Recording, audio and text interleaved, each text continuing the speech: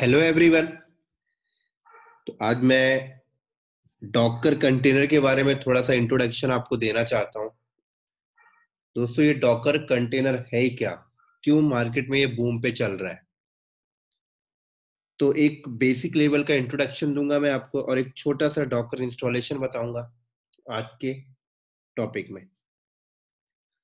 तो जैसे कि आप सबको पता है कि डॉकर जो है और कंटेनर, डॉकर कंटेनर जो है, ये मार्केट में बहुत ही बूम पर है।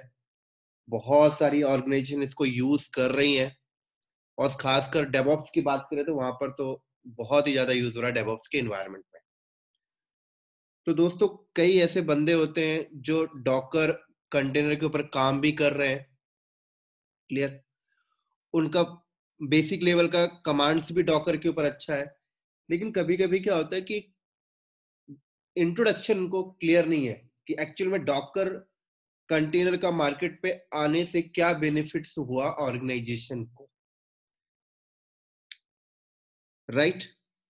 तो सबसे पहले हम ये चीज़ समझेंगे कि भाई डॉकर जो है कंटेनर जो है, ये किसका अपग्रेड वर्जन है? और इसके आने से बेनिफिट्स क्या हो रहा है ऑर्गेनाइजेशन को? ठीक है? चलो, शुरू करते हैं फिर। तो दोस्तों थोड़ा सा आप दस साल पीछे चले जाओ, है ना? थोड़ा सा दस साल पीछे चले जाओ, जब आपके पास वर्चुअलाइजेशन का फैसिलिटी नहीं था। ठीक है? तो जब हमारे पास वर्चुअलाइजेशन का फैसिलिटी नहीं था हमारे पास आईटी इंडस्ट्रीज़ में, और उस टाइम पर हमें नंबर ऑफ़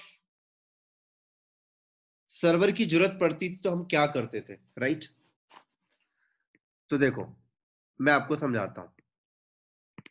यहाँ पर एक डेवलपर है। इसने एक एप्लीकेशन बनाया, फॉर एग्ज़ाम्पल।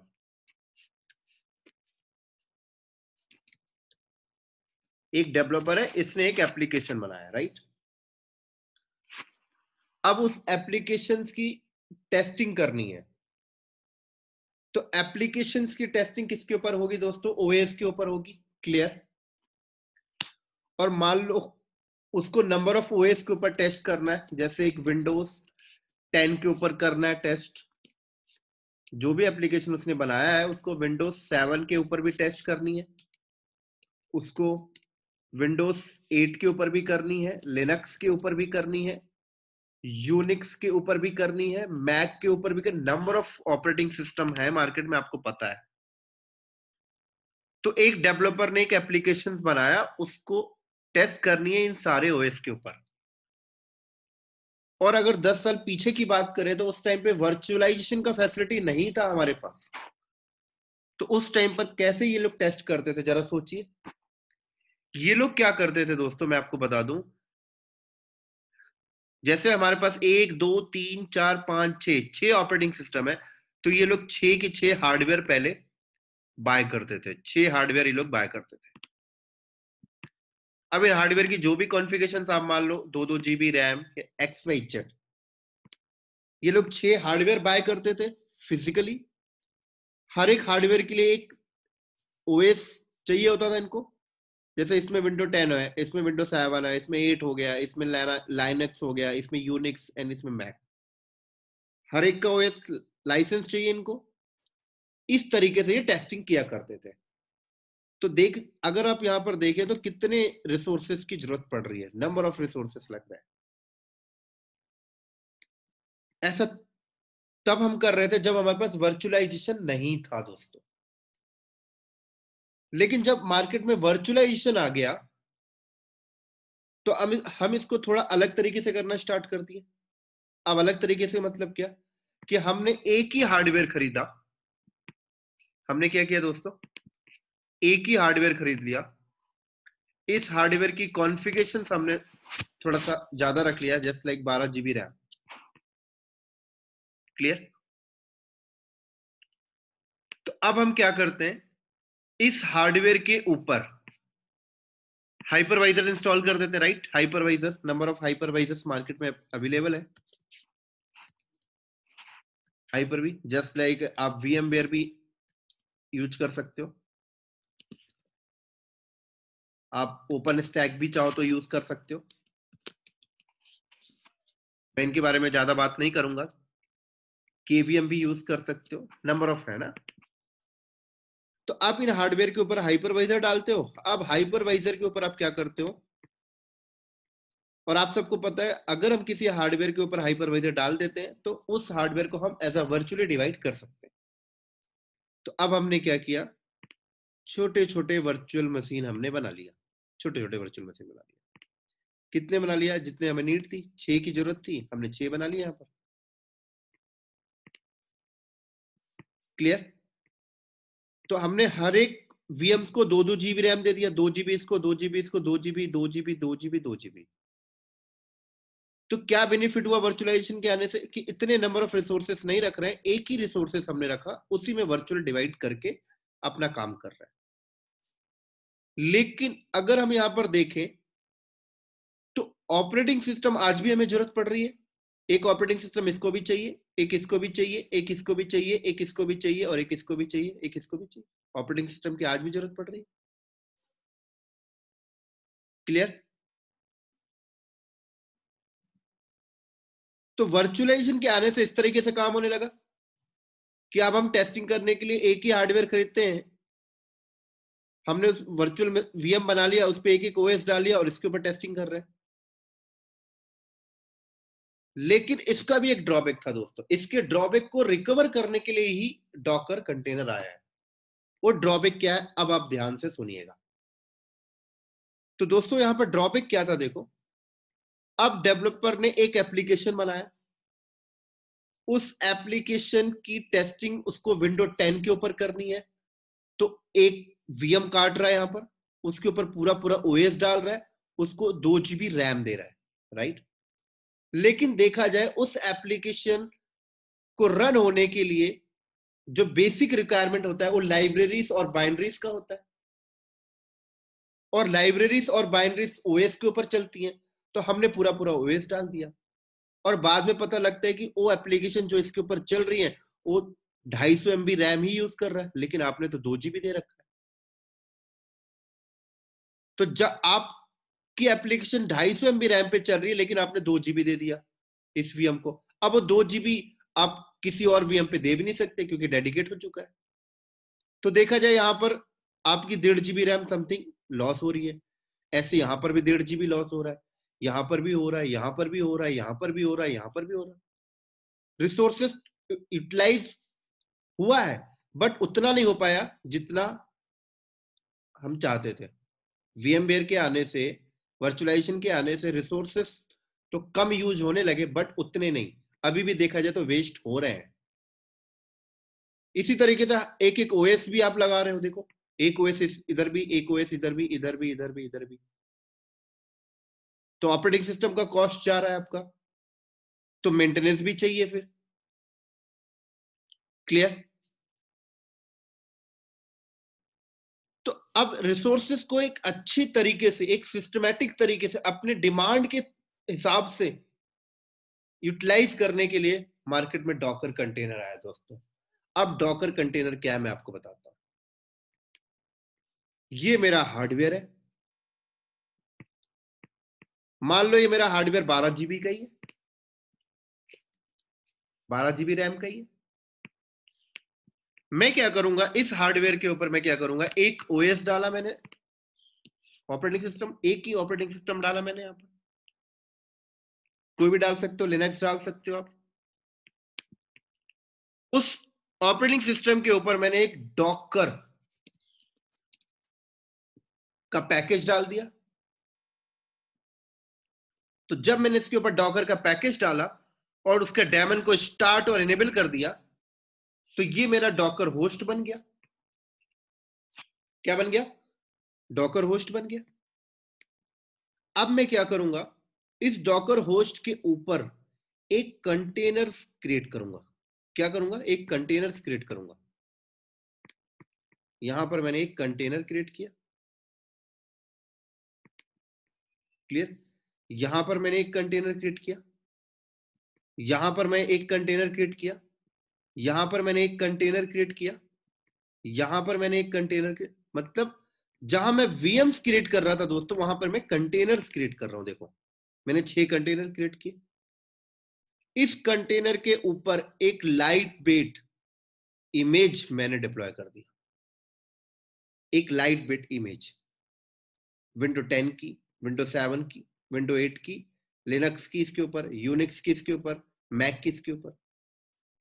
और यहाँ पर जो कंटेनर के ऊपर जो इमेज डिप्लॉय होगा दोस्तों, ये एक लाइट वेट इमेज होगा। इस इमेज के अंदर सिर्फ़ लाइब्रेरीज एंड बाइनरीज और आप अपने ज़रूरत के हिसाब से उसको कस्टमाइज भी कर सकते हैं।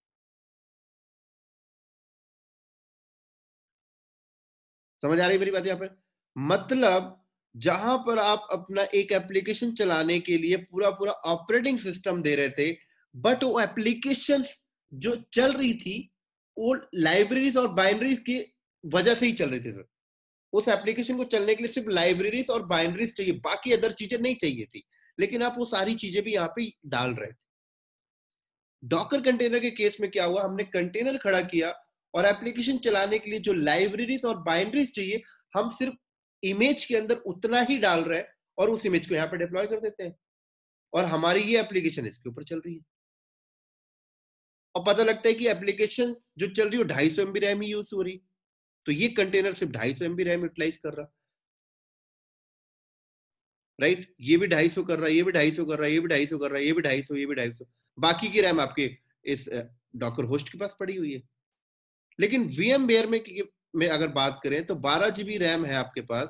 आपने दो जीबी इसको दे दिया तो ये दो जीबी फिक्स कर लेगा। इसके बाद दस ही बचा। अब ये, इसके अंदर की एप्लीकेशन जो चल रही है ढाई सौ एमबी ही रैम यूज़ कर रही है बट वो ऐसा नहीं करेगा कि बाकी रैम इसको वापस करेगा। नहीं, दो जीबी अपने पास फिक्स करके रख लिया। यहाँ पर ऐसा नहीं है दोस्तों। यहाँ पर ये कंटेनर कहता है, मैं अभी डेढ़ सौ एमबी रैम ही यूज़ कर रहा हूँ तो ये सिर्फ़ डेढ़ सौ एमबी रैम ही एक्यूपाई करके रखेगा, बाकी इसी के पास होगी।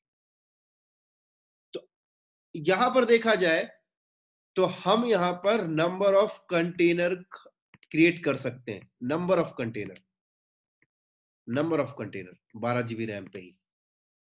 तो नंबर ऑफ़ कंटेनर क्रिएट कर रहे हैं तो हम देखा जाए तो नंबर ऑफ़ एप्लीकेशन अपनी चला सकते हैं। नंबर ऑफ़ एप्लीकेशन यहाँ पर क्या, ऐसा नहीं था दोस्तों, आपने एक वीएम को एक, दो जीबी रैम दे दिया तो आप दस ही वीएम क्रिएट कर सकते हैं मतलब दस ही एप्लीकेशन आप चल रही है। यहाँ पे रिसोर्सेस आपके वेस्ट हो रहे थे, यहाँ पे रिसोर्सेस आपके यूटिलाइज हो चुके तो यही एक बेनिफिट है दोस्तों डॉकर का डॉकर कंटेनर इसीलिए ऑर्गेनाइजेशन मूव कर रही है डॉकर कंटेनर की तरफ़। और इसकी लैब्स में जब करूँगा तो आपको ज़्यादा बेटर समझ में आएगा, राइट? अभी सिर्फ़ एक डेमोस्ट्रेशन था। तो अब मैं आपको थोड़ा सा डॉकर इंस्टॉलेशन बता देता हूँ, कैसे डॉकर इंस्टॉलेशन करते हैं दोस्तों। तो डॉकर इंस्टॉलेशन आप कहीं पर भी कर सकते हैं, अपने लैपटॉप बेयर मेटल लैपटॉप में लिनक्स डालिए, उसके ऊपर भी कर सकते हैं। आप अमेजोन पे एक वीएम बना लीजिए, उसके ऊपर भी कर कर सकते हैं। एजोर के ऊपर एक वीएम बना लीजिए, उसके ऊपर भी कर सकते हैं। गूगल क्लाउड के ऊपर वीएम बना के उसके ऊपर भी कर सकते हैं। या अपने लैपटॉप में वीएम डाल के उस पर एक वीएम बना लीजिए, उसके ऊपर भी कर सकते हैं राइट कहीं पे भी कर सकते हैं।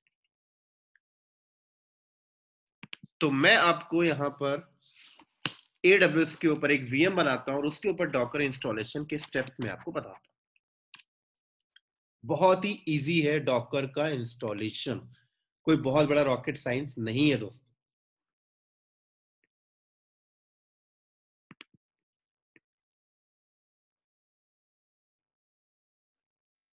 तो चलते हैं एक इंस्टेंस क्रिएट कर लेते हैं फटाक से।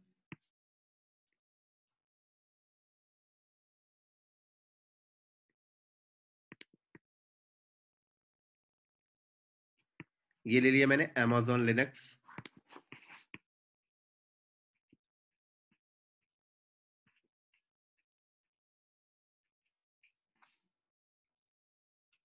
मैंने इसका नाम दे दिया डॉकर होस्ट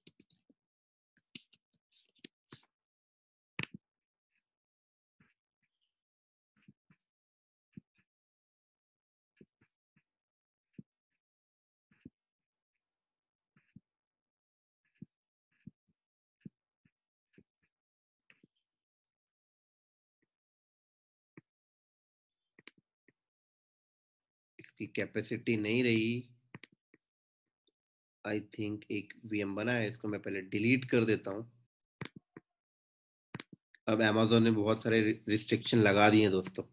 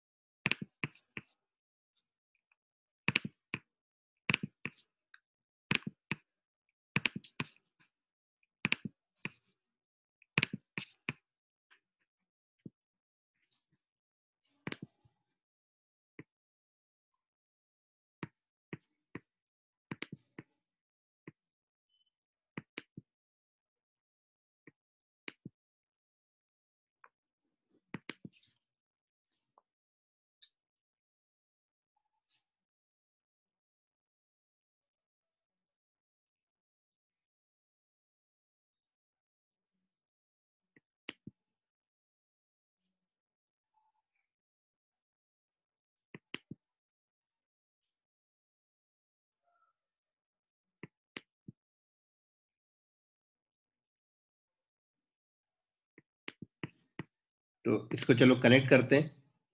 एक्शन में जाके कनेक्ट यहीं से कनेक्ट हो जाएगा ये।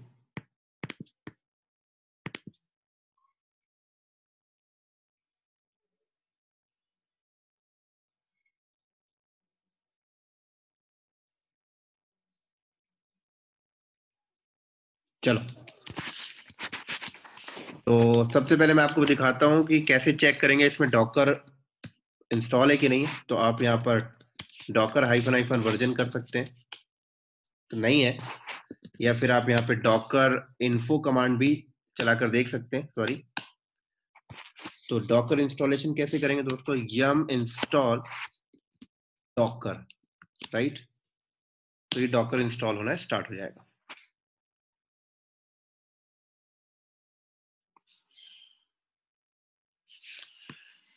ठीक है? कई बार क्या होता है कि ये तो अमेजोन की वीएम है इसकी रेपोजिटरी में मिल गया। अगर रेपोजिटरी में नहीं होता है तो आप फिर कैसे करोगे, वो भी मैं आपको बता देता हूँ। अगर आप घर में एक वीएम बना रहे हो, उसके ऊपर कर रहे हो तो हो सकता है रेपोजिटरी पे ना हो तो आप गूगल पे आ जाना और यहाँ पे लिखना हाउ टू इंस्टॉल डॉकर जो भी होगा आप यहाँ पे टाइप कर देना, जैसे सेंटोएस है तो सेंटोएस लिख देना। ये आपको सारे स्टेप बता देगा दोस्तों, है ना? परेशान होने की ज़रूरत नहीं है यहाँ पर। तो देखो, इसने बताया भाई ये स्टेप फॉलो कर लो, है ना? अपडेट कर लो, ये देखो, कर्ल कमांड से।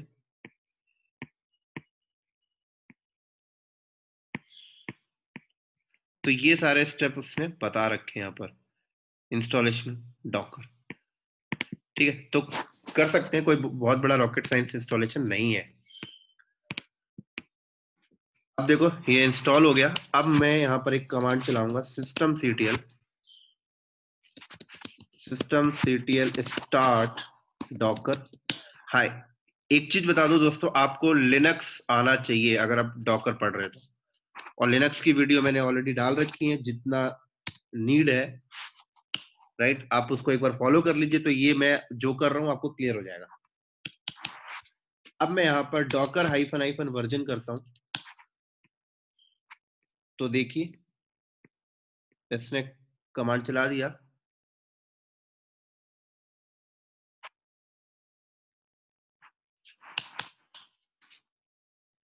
Docker info. तो ये देखो डॉकर इन्फो मैंने किया तो ये बता रहा है भाई। सारा कुछ बता रहा है ये, पढ़ सकते हो आप यहाँ से। ये देखो, कह रहा है कंटेनर ज़ीरो कोई भी कंटेनर अभी है नहीं रनिंग कंटेनर कोई भी नहीं है पॉज कोई भी नहीं स्टॉप सर्वर वर्जन बता रहा, ये सारी चीज़ें बता रहा है राइट इसी तरीके से यहाँ पर भी अगर आप कमांड चलाते हो डॉकर हाइफन हाइफन हेल्थ तो ये देख सकते हो दोस्तों ये इनकी कमांड है, ये मॉड्यूल है तो ये इनके पेरेंट मॉड्यूल है और ये नीचे वाले इनके चाइल्ड मॉड्यूल है। जैसे अगर आप डॉकर कंटेनर देखना चाहते हो तो Docker container Docker image Docker network ये सारी चीज़ हम पढ़ेंगे, तब देखेंगे। क्लियर इसी तरीके से आप अगर Docker container hyphen hyphen help करोगे तो ये कंटेनर पेरेंट मॉड्यूल हो गया। और इसके अंदर, जब मैंने ये कमांड चलाया तो इस चाइल्ड मॉड्यूल सॉरी मैंने कंटेनर शायद स्पेलिंग गलत लिख दी मैंने। डॉकर की स्पेलिंग मैंने गलत लिखी है। Docker container hyphen hyphen help तो यहाँ पर भी हेल्प वगैरह सारा अवेलेबल है दोस्तों, आपको परेशान होने की ज़रूरत नहीं है। ये देखो।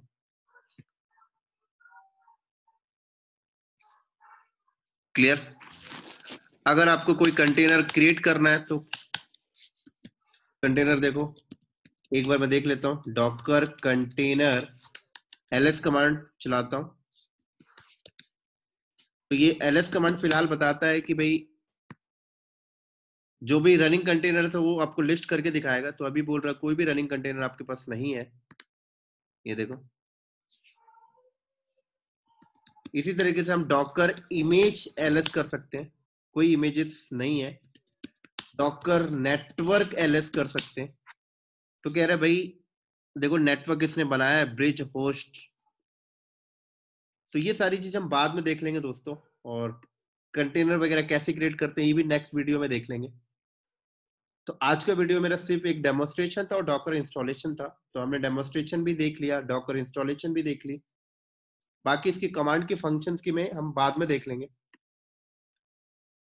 और अगर आपको इस टॉपिक में कोई डाउट्स है, दोस्तों तो कमेंट सेक्शन में बताइए। राइट मैं डाउट्स को क्लियर करूँगा और आई होप ये वीडियो आपको समझ में आया होगा और आपके लिए बहुत ही इम्पोर्टेंट भी है। और अगर आपको ये वीडियो देखने के बाद सच में अच्छा लगता है तो इसको लाइक करिए, मेरे चैनल को सब्सक्राइब करिए और अपने दोस्तों को शेयर भी करिए। ठीक है? तो चलो मिलते हैं फिर नेक्स्ट वीडियो में। डॉकर के ऊपर ही।